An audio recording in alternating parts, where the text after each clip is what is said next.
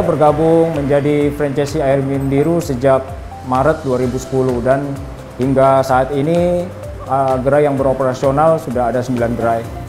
Keuntungan saya berbisnis menjadi franchisee di Depo Air Minum Biru adalah saya bisa mendapat aset uh, lokasi berupa uh, depo air minum biru yang setiap hari bisa menghasilkan keuntungan.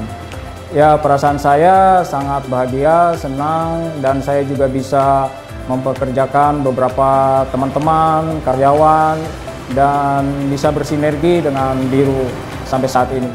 Kemudahan yang saya rasakan saat uh, menggeluti di franchise Depo Air Minum Biru ini adalah harga produk yang terjangkau bagi para pelanggan. Uh, tentunya memenuhi uh, ruang lingkup menengah ke bawah ataupun menengah ke atas. Dan bisnis air minum biru sangat mudah dilaksanakan karena sudah teruji manajemennya. Jadi walaupun bisnis ini kita tinggal, jadi bisa running dengan sebaik-baiknya. Pengalaman berkesan saya selama menjadi franchisee adalah saya banyak belajar, saya banyak belajar mengenai mengatur organisasi kepada teman-teman di lapangan, dan saya banyak belajar bagaimana uh, berbisnis di depo air minum biru ini.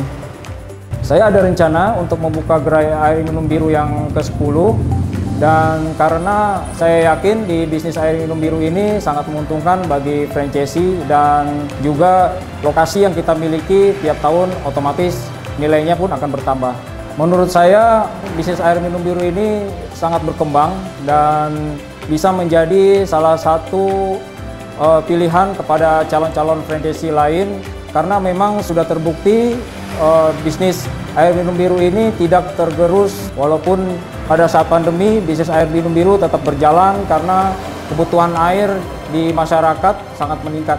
Dan saya mengajak kepada kaum milenial bergabung bersama Biru dan keuntungan pasti akan mendatangi Anda.